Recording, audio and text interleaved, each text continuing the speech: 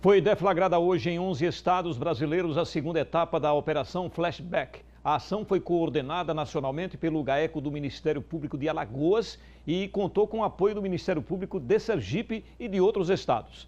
O objetivo da operação foi desarticular a nova composição de uma facção criminosa que comanda rebeliões, assaltos, sequestros, assassinatos e narcotráfico no país.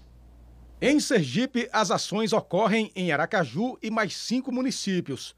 Ao todo foram expedidos 14 mandados de busca e apreensão e de prisão. A operação é coordenada nacionalmente pelo Grupo Especial de Combate às Organizações Criminosas do Ministério Público de Alagoas e conta com o apoio do GAECO de Sergipe e de mais nove estados. O objetivo é desarticular a nova composição do PCC, primeiro comando da capital. Durante o cumprimento dos mandados, houve resistência e troca de tiros, e um suspeito foi ferido.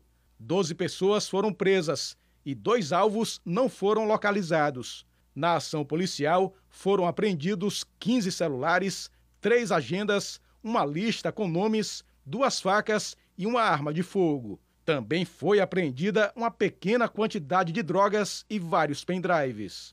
De acordo com o Ministério Público, os investigados são presos de alta periculosidade, responsáveis pelo cometimento de crimes graves. Os suspeitos foram encaminhados à sede do DENARC em Aracaju. O Ministério Público agora vai trabalhar na elaboração das denúncias contra os investigados presos. Todos serão formalmente acusados pelos crimes que cometeram, na condição de serem integrantes do PCC. A primeira fase da Operação Flashback foi deflagrada em novembro do ano passado. À época, foram cumpridos cinco mandados de prisão e um dos investigados reagiu e morreu em confronto com a polícia.